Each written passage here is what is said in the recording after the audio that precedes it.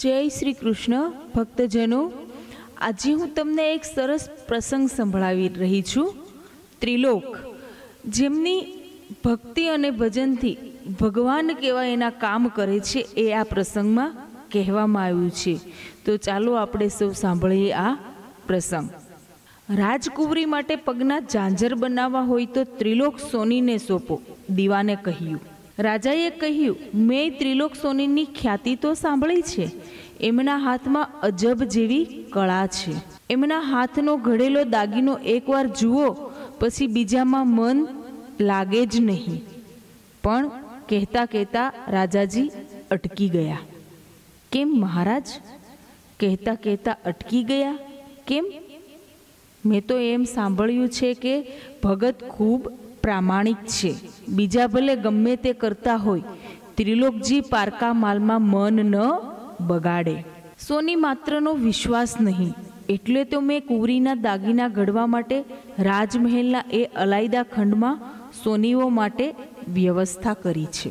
આટ આટલું કરવા છતાંય લોકમાન્યતા તો એવી જ છે કે, ભલેને સોનીને સાત ચોકી પહેરામાં બેસાડો તો તોલામાંથી રતિભાર સોનું આઘું પાછું કરવા ના જ. મેં એમ સાંભળ્યું છે કે સોની તો સગી બહેનના દાગીનામાંથી રતિભાર સોનું કાઢતા અચકાય નહીં. મહારાજ, આ બધી તો પ્રચલિત લોકમાન્યતાઓ છે. દિવાનજી, આપ કેમ ભૂલો છો કે લોકમાન્યતાઓમાં પણ ઘણું તથ્ય અને સત્ય રહેલું છે? એક તોલા સોનામાંથી રતિભાર સોનું કેમ ચોરવું? એ તો એમને ગળથુથીમાંથી શીખવવામાં આવે છે. મને એક સોનીમાં જનની લોકવાત યાદ આવે છે કે એક સોની એના પોતાના છોકરાને દાગીના ઘડવાનું શીખવી રહેલો. યોગાનુયોગ દાગીના પણ પોતાની બહેનના જ ઘડવાના હતા. બહેન પણ ભાઈને સારી રીતે જાણે. એટલે દાગીના ઘડતી વખતે સામે આવીને બેઠેલા. સોનીનો છોકરો મનમાં મૂંઝાયો. બીજાના સોનામાંથી સહેજ આઘું પાછું તો કરીએ છીએ, પણ આ તો સગી ફોઈનું. હવે કરવું શું? ફોઈબા તો પાસે જ બેઠા હતા, એટલે સીધે સીધી વાત તો પૂછાય નહીં. એટલે દાગીનો ઓગાળતી વખતે ફૂંકણી સમયે ફૂફૂ શબ્દની સાથે સંકેતથી પૂછ્યું, બાપા, આ તો ફોઈનું છે, મારે શું કરવું? બાપે દીકરા પાસેથી ફૂંકણી લઈને અગ્નિમાં ઓગળી રહેલા સોનામાં ફૂંક મારી. થોડું ઉડીને અગ્નિમાં પડ્યું. તેણે ગર્વભેર કહ્યું, ફૂ ફૂ, દીકરા, ધંધામાં બેઠા પછી ફોઈનું હોય તોય શું થઈ ગયું? અહીં તો બધાયનું ફૂફૂ કરી નાખવાનું. માટે દિવાનજી લોક વાર્તામાં કંઈ ને કંઈ તથ્ય તો હોય જ છે. મહારાજ, આપની વાત હું માનું છું. પણ મેં ત્રિલોકજીનો અનુભવ કરી જોયો છે. હા, દાગીના ઘડવાના મનમાન્યા પૈસા લે છે, પણ માલમાં જરાય ઘાલમેલ નહીં. ત્યારે ભગત કોનું નામ? મેં એમની આ કીર્તિ સાંભળી છે. સોનામાં જરાય આઘી પાછી એ કરતા નથી. પણ કારીગર જાત છે ને, એમને કુલે ભમરો હોય છે. કોઈ કામ એ કુલો ટકાવીને કરે જ નહીં. આજે આવજો ને કાલે આવજો. એમ કરી કરીને મહિનાના મહિના કાઢી નાખે. છતાં છોપેલું કામ પૂરું ન કરી આપવાનો એમનામાં મોટો દુર્ગુણ છે. એનું કારણ હું જાણું છું. એ છે પાછા ભગત. સંત સાધુની સેવામાંથી જ એ ઊંચા આવતા નથી. સંત સાધુને જુઓ કે ગાંડા ગાંડા થઈ જાય છે. હાથમાં લીધેલું કામ ઊંચું મૂકીને સંતોની સેવામાં લાગી જાય છે. દિવાનજી, આ તે કંઈ કામ કરવાના ઢંગ છે? ત્યારે મહારાજ કારીગર કોને કહ્યા, આપણે આપણા કામ સાથે કામ રાખો. આપ આજ્ઞા આપો તો પગના ઝાંઝર માટેનું સોનું મોકલી આપું. અથવા એમને રૂબરૂ બોલાવીને તાકીદ કરું કે આટલા સમયમાં પગના ઝાંઝર જોઈએ. મારું માનું દિવાનજી, ભગત આ નહીં કરી શકે. ને છેલ્લી ઘડીએ દોડધામ કરાવશે. મહારાજ, હજી લગ્નને ઘણી વાર છે. ભગત પાસે કુંવરીબાના ઝાંઝર ઘડાવી જુઓ. પગના ઝાંઝર આગળ કંઠનો હીરાનો હાર ઝાંખો ન પડે તો મારું નામ નહીં. એ તો ભક્તાણું કૂટવામાં ધંધા પર ધ્યાન નથી આપતા. નહીતર એમના જેવો કસબી કલાકાર આટલા પંથકમાં મેં બીજો કોઈ જોયો નથી. ભલે, ભગતને ઝાંઝર ઘડવા આપો. સાથે સાથે તાકીદ કરજો કે પોષ મહિનાના અંત સુધીમાં ઝાંઝર મળી જવા જોઈએ. વસંત પંચમીના તો લગ્ન છે. મહારાજ, એમ કરીએ. આપ બેઠા છો, હું બેઠો છું. કોઈ સેવકને મોકલો ને ભગતને અહીં જ રૂબરૂમાં બોલાવીએ ને આપ જ કડક શબ્દોમાં કહેજો. એટલે સમયસર જરૂર મળી જશે. હું કહું ને આપ કહો, એમાં આસમાન જમીનનું અંતર પડી જાય છે. ત્રિલોક ભક્તને બોલાવા એક સેવકને મોકલ્યો. ઘેર જઈને બહારથી બૂમ પાડી, ભગત, ઓ ભગત! ઘરના દ્વાર બંધ હતા. ભગત તો બારીએ ડોકાયા નહીં, પણ ભગતના ઘરવાળાએ બારીમાંથી ડોકું કાઢતા પૂછ્યું, કોણ ભાઈ? કેમ?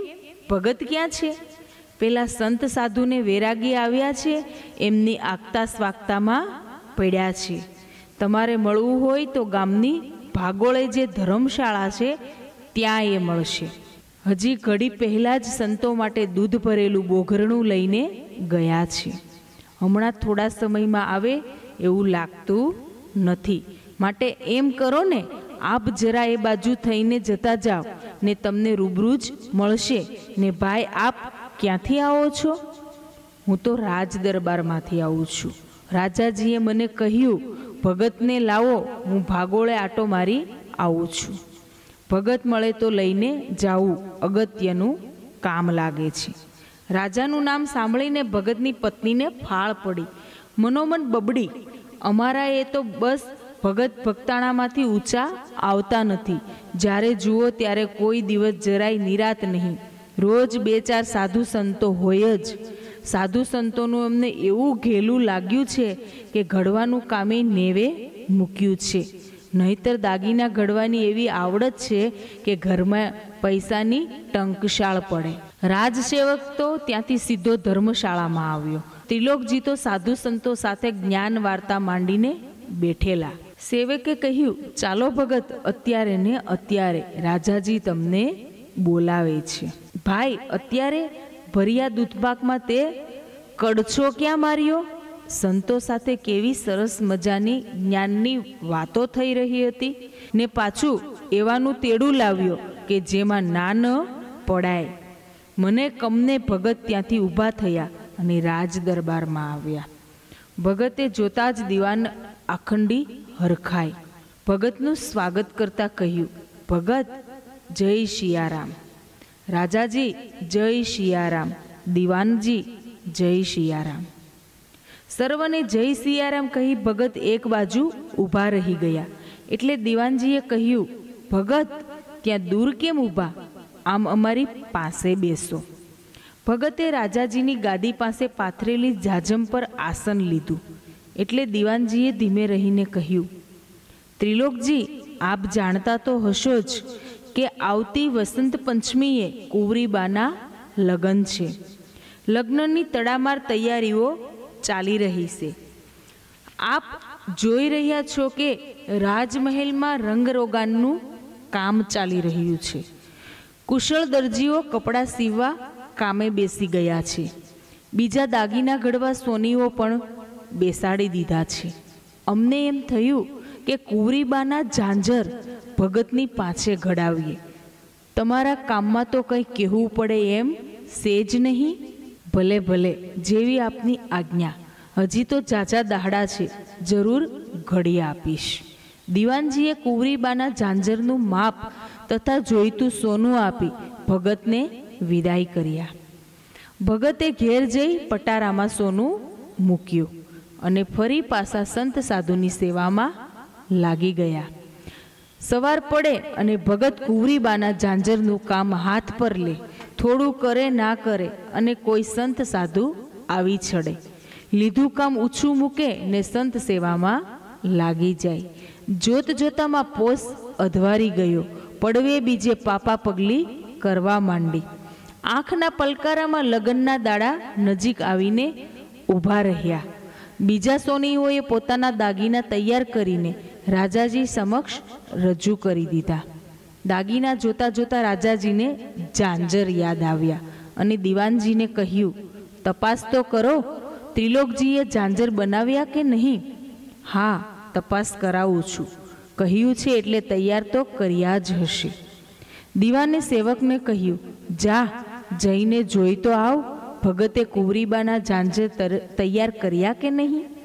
સેવકે ઘર જઈને જોયું તો ભગત ઝાંઝરની ઘૂઘરીઓ બનાવી રહેલા. સેવકે પૂછ્યું, ભગત, દિવાનજીએ મને મોકલ્યો છે. પૂછાવ્યું છે કે ઝાંઝર તૈયાર થયા કે નહીં? ભાઈ, આ આપનું જ કામ ચાલે છે. બે ત્રણ દિવસમાં તો જરૂર પૂરું કરી દઈશ. ના, ભગત, એમ નહીં. આપ મારી સાથે ચાલો.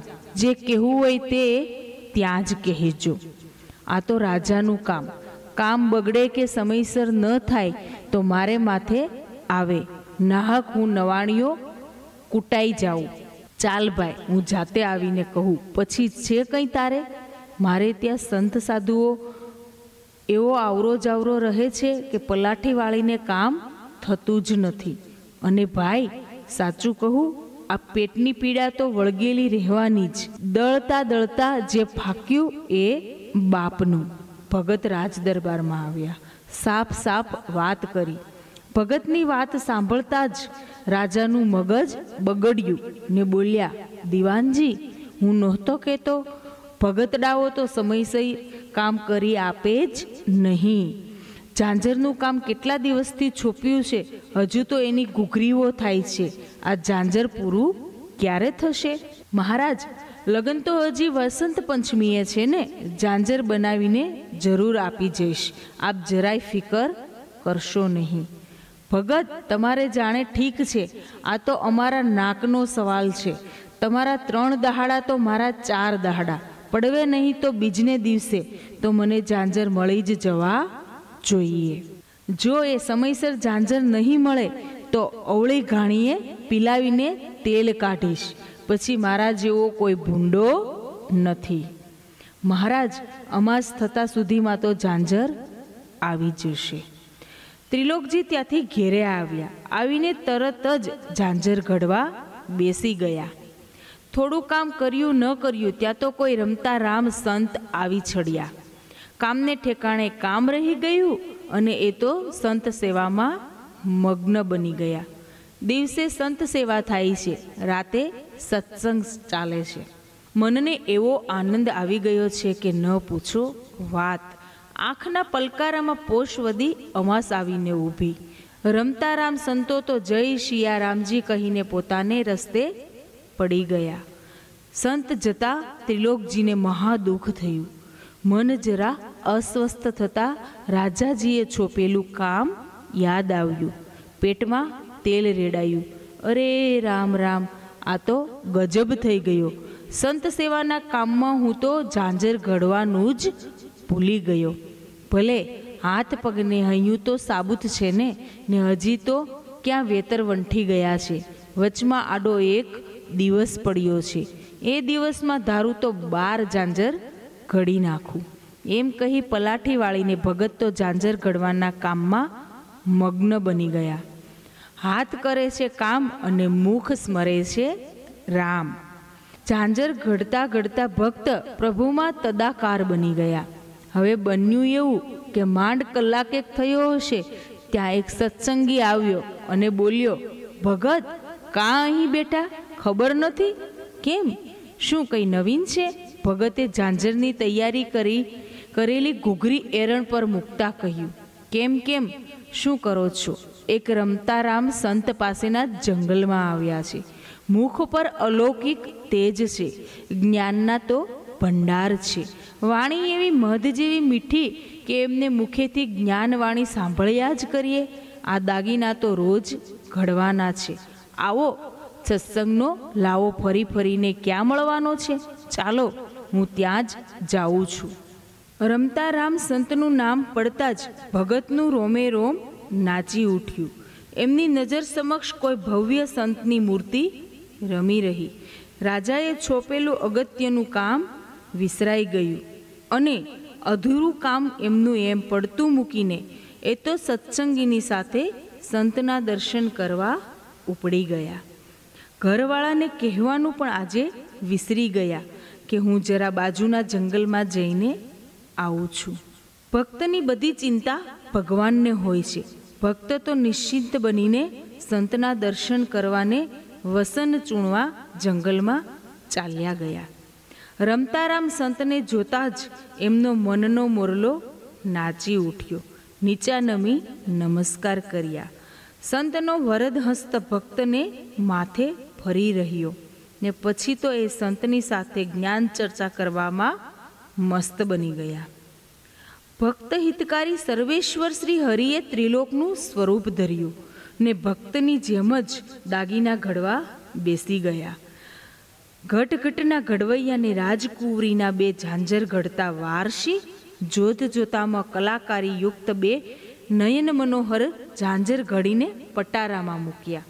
ત્યાં તો ઘરવાળાએ કહ્યું, છેલ્લી ઘડીએ રાત દિવસ જોયા વિના કામ કરો છો, એના કરતાં રોજ થોડું થોડું કરતા હો તો તમે તો કોઈ સંત સાધુ આવ્યા નથી કે દોડ્યા નથી. મંદ મંદ હસતા ભક્ત વેશધારી ભગવાને કહ્યું, શું થાય? સ્વભાવ પડ્યો એ કંઈ થોડો જાય?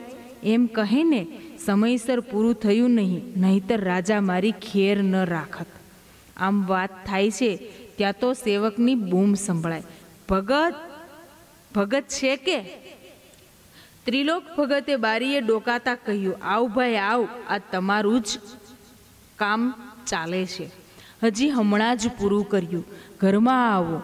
હું આપની સાથે જ રાજ દરબારમાં આવું છું. રાજસેવક ઘરમાં આવ્યો. ભગતની સામે દ્રષ્ટિ મળતા જ ભક્ત વેશધારી ભગવાને રાજસેવકને જય શિયારામ કહી બેસવા આસન આપ્યું અને કહ્યું, રાજકુંવરીના ઝાંઝર તૈયાર છે. હજી હમણાં જ ઘડીને પટારામાં મૂક્યા.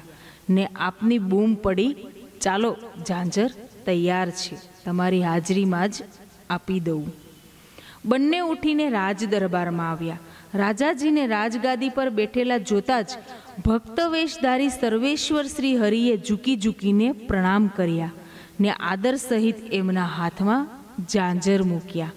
ઝાંઝર જોતા જ રાજાજી તો ખુશ ખુશ થઈ ગયા. વાહ વાહ ભગત, આપે તો કમાલ કરી. આપની કારીગરી જોતા મનનો મોરલો નાચી ઉઠે છે. સુવર્ણ ઘડનારા કારીગરો તો ઘણાય જોયા, પણ તમારાથી બધાય હેઠ. કલા કારીગરના બદલામાં તો તમને શું આપવું, એ જ મોટો સવાલ થઈ પડે છે. ઝાંઝરમાં એવી સૂક્ષ્મ કારીગરી કરી છે કે જોતા જ દિલ ડોલી ઉઠે છે.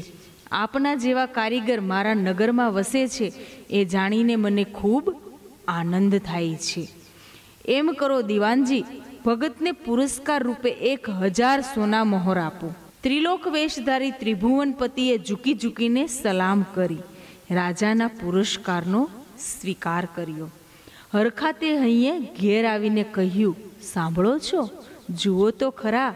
રાજાજીએ આજે ખુશ થઈને કેટલું મોટું ઇનામ આપ્યું. પૂરી એક હજાર સોના મહોર. ભગવાન દયા કરે ત્યારે છાપરું ફાડીને આપે, એ એમનું નામ. ભગવાને છૂટે હાથે આપ્યું છે. તો છૂટે હાથે વાપરીએ. આવતીકાલે ઘર આંગણે મહા ઉત્સવ કરીએ. સંત સાધુ ભગત ભિખારી જે કોઈ આંગણે આવે એને પ્રેમથી જમાડીએ. મન માગ્યા દાન આપીએ. ત્રિલોક ભક્તને આંગણે મહા ઉત્સવ ઉજવાતો જોઈ અનેક સંત સાધુઓ ઉમટી પડ્યા. એક બાજુ ભજન ને બીજી બાજુ અનેક પકવાનો પડ્યા છે. એક બાજુ ભજન ને બીજી બાજુ ભોજન. ત્રિલોક ભક્ત કી જય, ત્રિલોક ભક્ત કી જય, ના જય જય કાર ઉઠ્યા. એક સંત મંડળી ભોજન કરી તૃપ્ત થઈ જંગલના માર્ગે જઈ રહી હતી. રસ્તામાં ત્રિલોક ભગતની વાતો ચાલી રહી હતી. આરામ લેવા માટે એ સંત મંડળી રસ્તામાં એક સંતને સ્થાને રોકાય વાતમાંથી વાત નીકળતા સંતોએ કહ્યું, આજે શું વાત કરીએ? અહીં પાસેના ગામમાં એક મહા ઉત્સવ ઉજવાઈ રહ્યો છે. અનેક સંતો અને ભક્તો ભેગા થયા છે. એક બાજુ હરિકીર્તન થાય છે, એક સ્થાને નામ સંકીર્તન ચાલી રહ્યું છે. ઘરની એક પછવાડે મોટું રસોડું છે. ભજન કરો અને પછી ભોજન કરો. ત્રિલોક ભગત એટલે ત્રિલોક ભગત. એમના જેવી સંત સેવા કોઈ ભગત કરશે નહીં. અમને તો ખૂબ આગ્રહ કરી કરીને જમાડ્યા.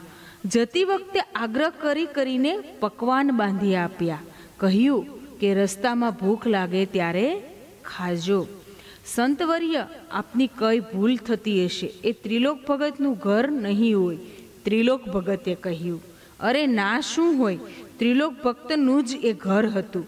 બધા સંતો ભક્તો, ત્રિલોક ભક્તોનો જ જય જયકાર કરતા હતા ને કહેતા હતા, સંતને કંઈ શંકા થઈ. અરે, વાત કરતા કરતા અટકી કેમ ગયા? ભગત, અમે ત્રિલોક ભગતની સાથે બબ્બે કલાક સુધી ભજન કીર્તન કર્યા. ભગત એવા સેવાભાવી કે ન પૂછો વાત. અમને કહે, આપ તો ખૂબ દૂર દૂરથી આવો છો. જાત્રાએ નીકળ્યા છો. હજી જગન્નાથપુરી તો ક્યાંય દૂર છે. થાક લાગ્યો હશે. લાવો, પગ ચંપી કરી દઉં પગ જરા છૂટા થાય. અમે તો ખૂબ આનાકાની કરી, પણ ત્રિલોક ભગતે અમને ન છોડ્યા. અમારા બધાના પગ પખાળી, પગ ચંપી કરી, એમનો હાથ ફરતા અમારો બધો જ થાક દૂર થઈ ગયો. એ તો એ સ્વભાવ એવો સરળ કે ન પૂછો વાત. મુખ એવું સોહામણું કે બસ જોયા જ કરીએ. અમે ધારી ધારીને એમના મુખનું દર્શન કર્યું છે.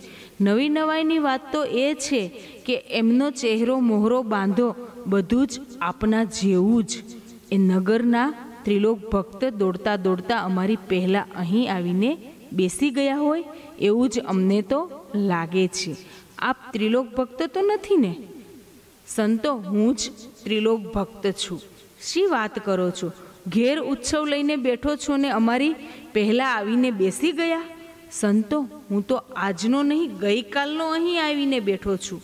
ત્યાં આપે ક્યાં ત્રિલોક ભગતને જોયા? એ મારે જાતે જઈને જોવું પડશે. સંત મંડળી પણ દ્રિધામાં પડી ગઈ. સંતોને વિચાર કરતા મૂકી ત્રિલોક ભક્ત તો દોડતા દોડતા ઘેરે આવ્યા. જોયું તો સંતોના કહ્યા મુજબ જ ઘર આંગણે મહા ઉત્સવ ઉજવાઈ રહ્યો હતો. ત્રિલોક ભક્તને આવેલા જાણી ત્રિલોક ભક્ત વેશધારી ત્રિભુવન પતિ અંતર ધ્યાન થઈ ગયા. ભગતે હાફળા ફાફળા બનીને પૂછ્યું, અરે, સાંભળો છો? આ ત્રિલોક ભગત ક્યાં ગયા? તમારું આજે ચચક્યું છે કે શું? તમે જ ત્રિલોક ભગત છો. અને ઉપરથી પૂછો છો કે ત્રિલોક ભગત ક્યાં ગયા? ઘરવાળીએ બરાબર ઝાટક્યા.